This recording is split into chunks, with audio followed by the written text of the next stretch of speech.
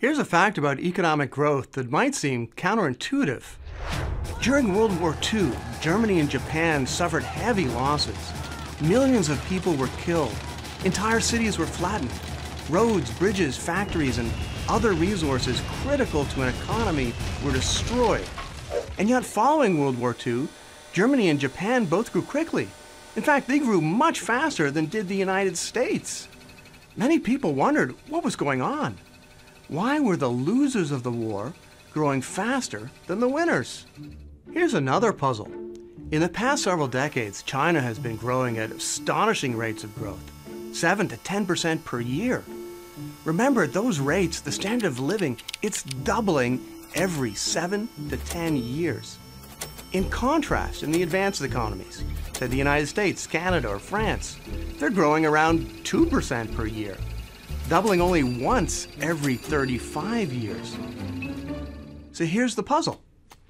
In the previous talks, we said that the way to get a high standard of living and economic growth is to have good institutions, like property rights, honest government, political stability, a dependable legal system, and competitive and open markets. But in each one of these cases, there's no question that the advanced economies have better institutions than does China. Plus, the advanced economies, they've got more human and physical capital. So if the advanced economies have got better institutions and more capital, why are they growing slower than China? To solve these puzzles, we're going to be drawing on an important economic model, the Solow model of economic growth, named for Robert Solow, who won the Nobel Prize. The Solow model will help us to better understand the dynamics of growth. The Solow model is also going to help us to draw a distinction between two types of growth, catching up growth and cutting edge growth. As we'll see, catching up can be much faster than growing on the cutting edge. Now, you might ask, what's an economic model? An economic model is a simplified framework that helps us to understand a more complex reality. We're going to be using a super simple version of the Solow model that boils economic growth down to just a few key variables and some basic mathematics. Now, although it's simple, the Solow model can provide us with some deep insights into the causes of growth. A key part of the model is a production function a simplified description of how resources, inputs, are used to produce output. So let's take a look at some of the inputs into our production function. The first key input is us, people. We use the letter L to represent labor. The more educated people are, the more effective their labor. So we can multiply L by E for education.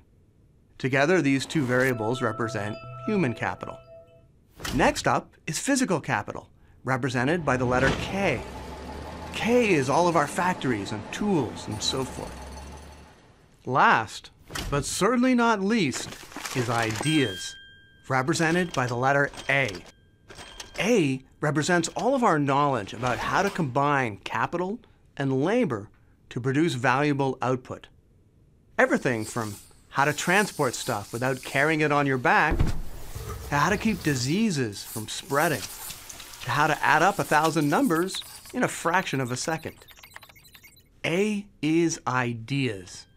And better ideas mean that we can get more bang for our buck, more output from the same inputs of capital and labor. We can think of human capital, physical capital, and ideas being used together to produce output. That's the idea of our production function. Now, right now, our production function is very abstract, but in future videos, we're going to boil it down even more and make our production function concrete.